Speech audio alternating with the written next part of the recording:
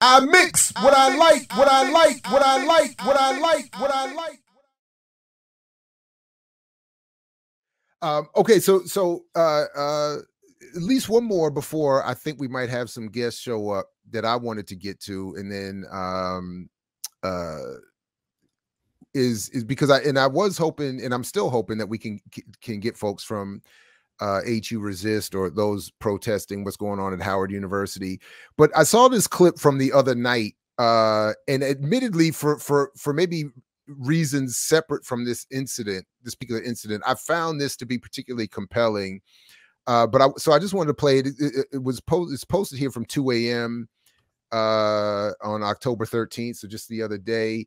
Uh, and I know, uh, or I understand that they're still out there. So uh, you know, uh, full support and solidarity. But but let's just check this out. I'm, I was...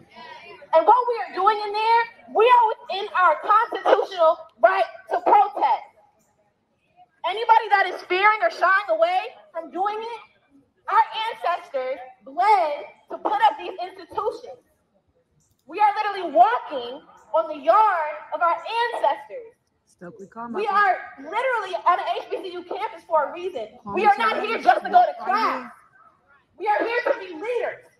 We are here to be advocates. We are here to be change makers. So that was one one thing I wanted to to to to respond to that that got my attention was again I'm admitting that I'm looking at this from this frame of what the HBCU is meant to mean and does mean in the consciousness or the mind's eye of our broader community. And I want to invite people to to eh, go to imixwhatilike.org and engage They'll find there on the front page, engage my Not a Different World project. Please contribute if you can. I'm still putting that together. It's a long form, longitudinal study. Um, but this is sort of what my point is. First of all, obviously she's giving a speech. This is not meant to be some some recitation of of of the history, blah blah blah. But it is part of the mythology. This idea that we bled for these institutions. That's that's I don't read the history that way. Um, uh, maybe because we were willing to bleed for our freedom, these institutions were created and given in response. Um, someone in the background you hear mention Stokely Car- Carmichael or Kwame Ture mm-hmm. in terms of the ancestors and the tradition he struggled against the institution and then mm-hmm. left the institution to engage the struggle. So the idea that again, by protesting the institution and staying and and, and being a student there means that you automatically are part of the struggle or should be seen as part of the struggle, I think misunderstands what these institutions are there to do, which mm-hmm. leads to I think the, the kind of uh, uh, confused response, uh, understandable among students, and I think maybe understandable for different reasons among faculty and and and surrounding area uh, community members that this is that that that that these institutions would would be here to support these efforts. And and I think it, it anyway so that was the, those institutions were. I mean we talk about the actual history of them I mean whether it be uh, Howard or or you know the place where I went Hampton um, they were they were they were founded in order to assimilate the newly uh, freed Africans into white society to be good servants right. for white people. Uh, they they were talking about that they wanted to head, educate the head and the heart of the black person. The head uh, with with information that would uh, again make us subservient and pl- compliant with white folks to white folks and white supremacy. And the heart, of course, they used a lot of uh, you know Christian, you know Western Christian uh, principles. You know, because a lot of these were more uh, institution institutionally uh, religious as well. You know, and that, this that's the model that that Europeans have used everywhere with with indigenous peoples all over the planet. Uh, was you know education as a socialization tool. You know, you can look at the work of Gatto uh, and and several mm-hmm. other you know and several mm-hmm. others who went into all of that what what education is really about. Um, so so basically that's what they were. So that's actually that's the actual history. Uh, Samuel Chapman Armstrong, who who uh, was the founder of, of Hampton, for instance, was also a Civil War uh, person, just like General Howard, who actually was largely responsible for the displacement of people in Hawaii and, and the empire, uh, uh the black, you know, mostly or, or brown empire uh, folks there. And I wouldn't say empire, but brown, you know, uh, civilization there in, in, Hawaii. He was largely responsible for for that, and also he had some uh, dealings with, uh, I believe, the Trail of Tears as well. So he was not and he's a, a, benefactor of Booker T as well. Yeah, Booker T. You know, of course, uh, went on, went ahead and started uh, uh, Tuskegee.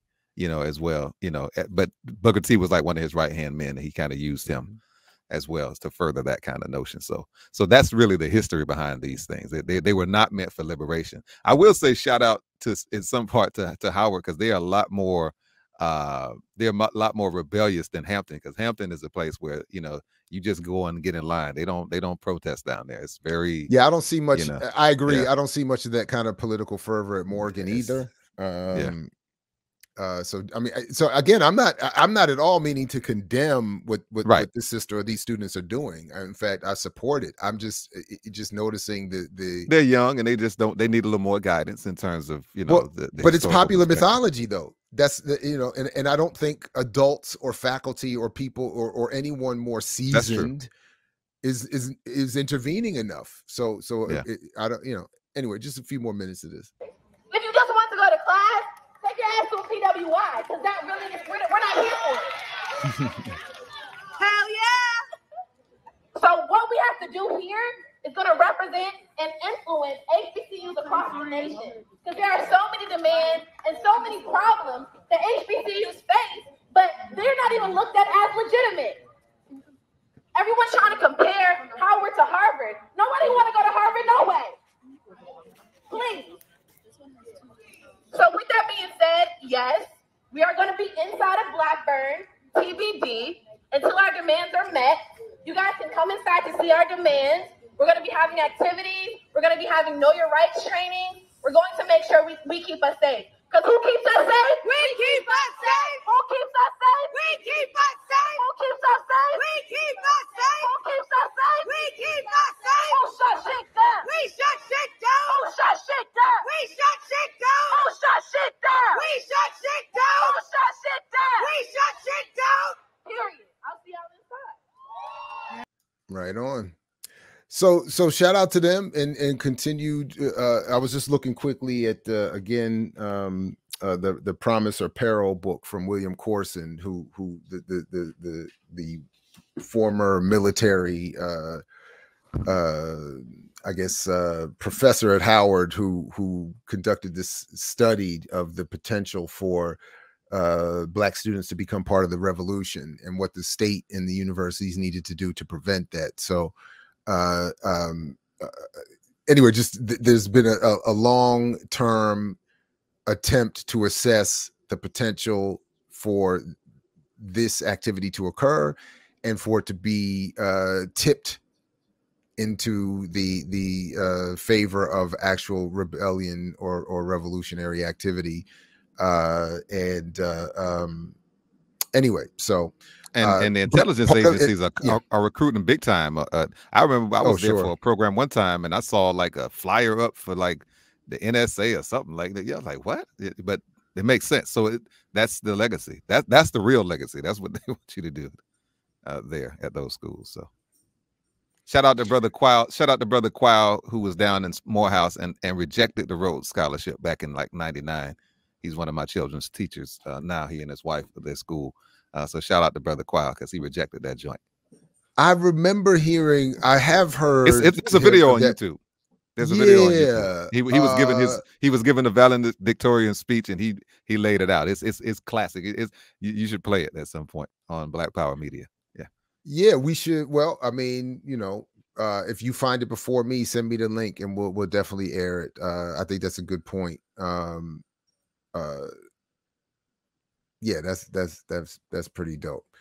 Um, but anyway, so I just wanted to, to again, I invite people to check out the the uh, uh, not a different world project at I mix what I like.org. And uh, if you've been a, a, student or faculty or administrator or staff uh, or parent of uh, folks at HBCUs, I'd like to hear from you.